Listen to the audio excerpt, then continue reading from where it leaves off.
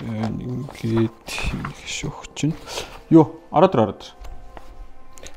За дахиад киноны recap нэг хэсэгтээ хийх хэрэг болсон. Тэгээд чөлөөний чинь ходсон байх шүү. За. Юу, би тэгээд дахиад киноны ихэнд бичлэгний чихэнд гарахгүй юм тий. Тий, тэгээд дахиад кино хийхээр л дуудъя. Кино. За тий. Окей. Тэгвэл түрвэ штэ. Оо юу, аха доороо дээр ордор.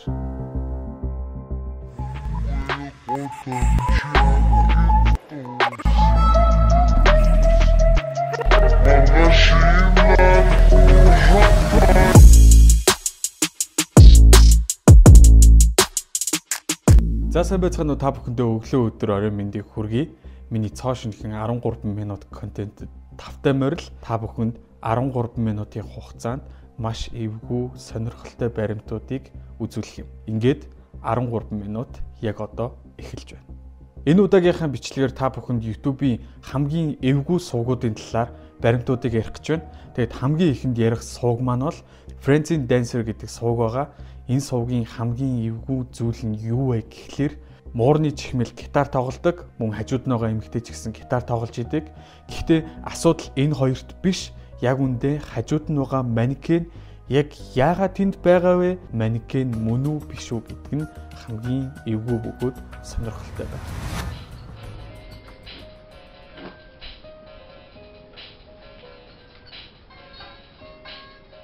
Энэ бол 2010 онд оруулсан Tomsa Blue гэдэг нэртэй бичлэг. Бичлэгт муурны чихмэл даралтад хөгжим тоглож байгаа юм шигээр тавьчихсан чаналыг хөтэлдэг эмэгтэй болох Фрэнцийн гитар тоглож дуулж байгаагаар харагддаг. Энэ бичлэгнээс хамгийн хачирхалтай нь Фрэнцийн хажууд байгаа манекен шиг зүйл юу вэ гэдг нь л байсан. Юу ч гэсэн энэ зүйл амьд биш гэдг нь мал тодорхой. Манекен шиг юм уу гэхээр тийм царайтай манекен гэж байхгүй зү. Бас Фрэнцийн энэ зүйлийг ханнаас үлгсэн байсан. Энэ зүйлтэй хамт нийт дөрвөн бичлэг оруулсан удалгүй дахиж бичлэг хийгээгүй. Гэтэл хэдэн жилийн өмнө TikTok дээр энэ бичлэг цацагдаж олонний нүдэнд өртсөн. Хүмүүс учрыг нь олох гээд комент хэсгээс ер нь бол сэжүр хайж ийм төвлөлтөнд хүрсэн байгаа. Фрэнцийн амьдралын талаар судлаад үзэхэд тэд хэлэхдээ өмнө нь телевизийн нэвтрүүлгийн од байсан ба нэвтрүүлгийг хамт хийдэг байсан хамтрагч нас барснаар дахиж хийх юм болсон. Үүнийг дагаад Фрэнцийн жүжигчин болох хүслэн ч талаар өнгөрсөн. Тэгээд Фрэнцийн хамтрагчийн цогцсыг оршуулахаас өмнө хулгайлсан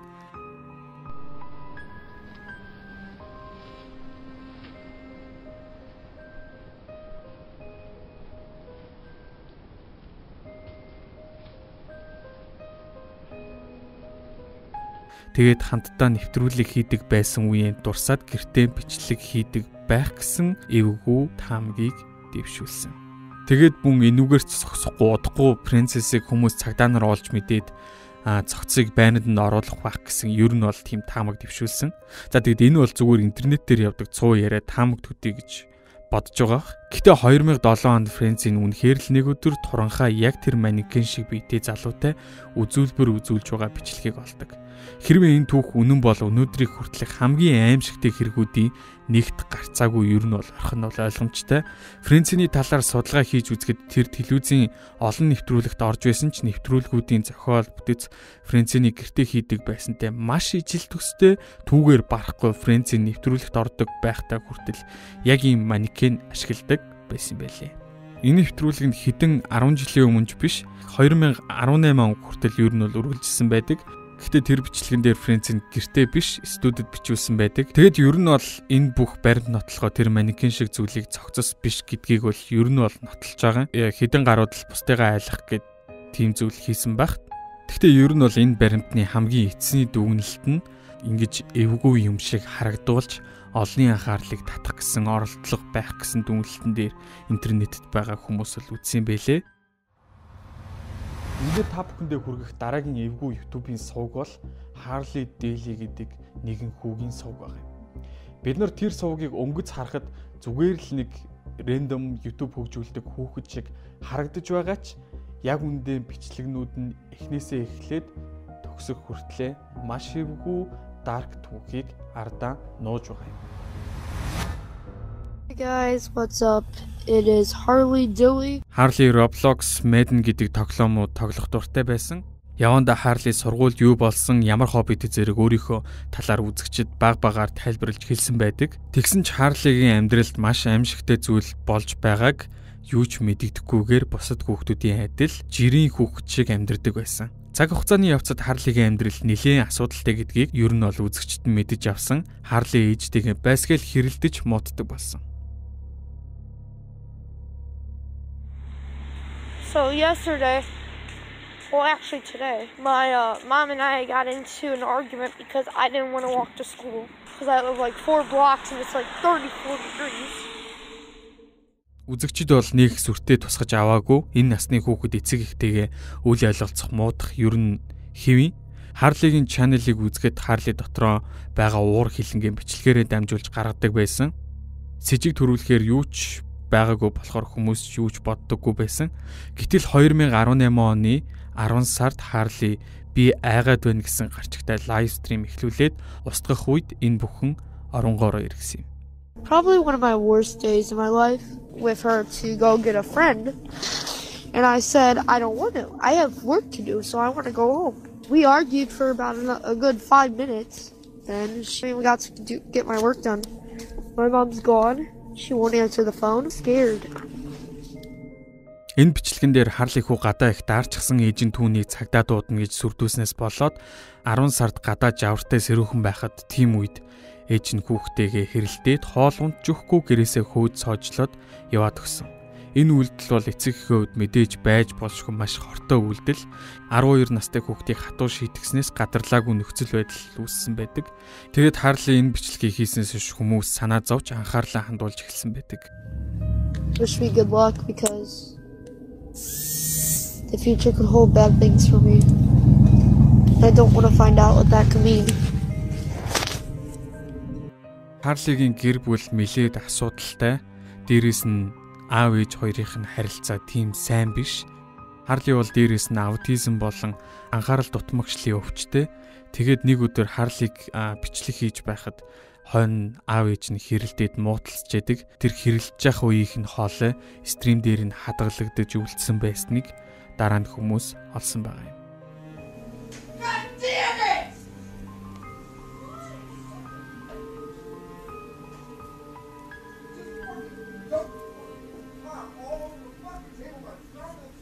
My dad's being an asshole right now. Бичлэгт хүүгийн зан аш догдлын талаар баг саг зүйл гардаг байсан ч хамгийн чухал хэсэг нь камераас далд болдог байсан. 2019 онд Harley Daily гэдэг нэртэй шин чанел нээсэн байдаг. Энэ чанелдаа өмнөхдөөгүй адил бичлэг оруулдаг байжгаад 2019 оны 12 сарын 10-нд Madden тоглож байгаа энгийн бичлэг байсан боловч удалгүй YouTube-ийн хамгийн dark channel болж хуурсан юм. Энэ бичлэгт ямар нэгэн гэр бүлийн хэрүүл гараагүй харин Харлигийн хамгийн сүүлийн бичлэг байх болно гэдгийг хэлдэг. 9 хоногийн дараа буюу 2019 оны 12 сарын 19-ны өдөр Харлигийн ходоод өвдөд ээжээсээ өнөөдөр сургуультай явахгүй байж болох уу гэд гуйтал ээж нь зүгээр л маяглаад байгээд загнаад гаргасан. Тэгээд Харли сургууль руугаа явсан байдаг. Гэхдээ тэр өдөр сургуультай ч очиагүй. Оройн гэртeenч буцаж ирээгүй. But first, a heartbroken mother waiting for her missing son to walk back into her arms. Tonight marks seven days since the disappearance of 14 year old Harley Dilly. Тэгэд мэдээж алга болсныхан дараа аав ээж нь санаа зовоогүй нэг өдрийн дараа цагтаа нарт мэдэгдсэн. Хүүхэд олдоогүй 7 хоног болсон байхад хүртэл аав ээж нь огт тоохгүй байсан. Үүний дараа бүх мэдээгээр ер нь Харлиг хүүгийн талаар шуугиж эхэлсэн. Мэдээж хүүг алга болсны дараа хүмүүс Харлигийн чанал руу орж үзээд алга болсонтой энэ аав ээж нь салшгүй холбоотой юм байна гэдэг таамгийг мөн дэвшүүлж байсан. 2020 оны 1 сарын 13-ны өдөр бүх зүйл өөрчлөгдсөн. Тэр өдөр цагдаагийнхан замын эсрэг талд байдаг хинч амьдрдггүй байшин шалгаж үзсэн дотор нь орж шалгаж үзэхэд Харли хүүгийн хүрм өмд өрөөсөн амьс гутал бас шүдний сой золддог. Харли энд байсан тодорхой болсон ч бүх өрөө нь хоосон хувцснаас өөр юу ч байдаггүй. Тэгэд мөрдөн байцаагчид янданд ямар нэгэн зүйл байж магадгүйгээд янданг шалгаж үздэг. Харамсалтай нь яндангийн нарийнхан давчуу харанхуй нүхнээс Харли хүүгийн зогцыг олдог. Харли ердөө эсийг харьцах нь 13 инч хэмжээтэй яндан руу гулгаж орох гэж үзсэн. Ийм нүхэнд Харли голдон ороод гацсан бас хид хидийн хувцас урсан. Буцаж дэшээ авирч яндангаас гар харгаа олохгүй болсноо мэдсэн Харли овлын хүүтэнд янданд гацаж хичнээн орилсон ч хинч түүнийг сонсохооргүй байсан болохоор хөөрхий хүү тэр жижигхэн нүхэнд нэлийн зовж нас барсан ойлгомжтой. Тэгээд энэ бүх зүйлийг хүмүүс юу гэж харж исэн бэ гэхээр аав ээж нь бол 100% буруутай гэж үзэж юу нь бол буруутгаж исэн. Тэгэд мэдээж энэ чаналыг хамгийн эвгүй чанал болгож байгаа шалтгаан нь юу вэ гэхээр бага насны хүүхэд мэдээж удаан хугацаанд хүчрхийлэлд өртөж байгаагаа үзэгчдэд хүргэх гэж маш их хичээсэн. Гэтэ үзэгчид түүнийг нэх анзаараагүй. Үүнээс болоод тэр хүүхэд гэрээсээ зүхтаж харамсалтайгаар үтсэн нь хамгийн эвгүй сувгуудын нэгт бол орж байгаа. Тэгэхдээ дараагийн ярих YouTube-ийн хамгийн эвгүй сувгуудын нэг бол Big Money гэдэг нэртэй сувг байгаа. Энэхүү залуу нь 2020 оноос эхэлж YouTube дээр гэр бүлийнхэн аз жаргалтай, дурсгалтай мөчүүдийг хадгалж эхэлсэн. Гэхдээ энэ залууд нэгэн хачирхалтай зүйл тохиолдсон. Энэ зүйл нь юу вэ гэдгийг бүгдээрээ олж мэдсэн. Дараагийн та бүхэндээ ярих чаналын нэр бол Big Money гэдэг нэртэй чанал байгаа. Тэгээд энэ чаналыг хөтэлдэг хүн бол Trend Pesha гэдэг нэртэй эрэгтэй хөтэлдэг. Тэгээд 2020 оны 10 сард хүртэл эвтэгтэй бичлэг оруулдаг байсан боловч удалгүй нэг бичлэг нь цацагдсанаар энэ чанал хамгийн эвгүй чанал болж хувирсан юм. Тэрхүү бичлэгт юу гардаг вэ гэхээр тренд охиныхон бүтэн нэрийг тайтл дээр нь биччихсэн бичлэг дээр нь тренд ярихдаа бүх зүйл эхнэрийнх нь буруу байсан, эхнэр нь өөрийг нь араар тавьсан гэж тайлбарлсан байдаг. I'm so sorry that I've done this. I want you to know that you mean everything to me. I didn't choose this. Your mom chose this. She's been cheating on me for a long time. I didn't do nothing wrong to her. 2020 оны 10 сарын 21-нд буюу саяны бичлэг цацагдсан өдөр Трент угаалгын өрөөнийхөө ванд нуугдаад эхнэр болох Саванаг гэртээ ирэхийг хүлээж исэн. Тэгээд Саванаг гэртээ ирээд угаалгын өрөө рүүгээ ороход Трент ваннаас гарч ирээд эхнэрийнхээ цээжин хэсэг рүү нь хоёр удаа буудаж Савана удалгүй шархаанд дийлэлгүй нас барсан байдаг.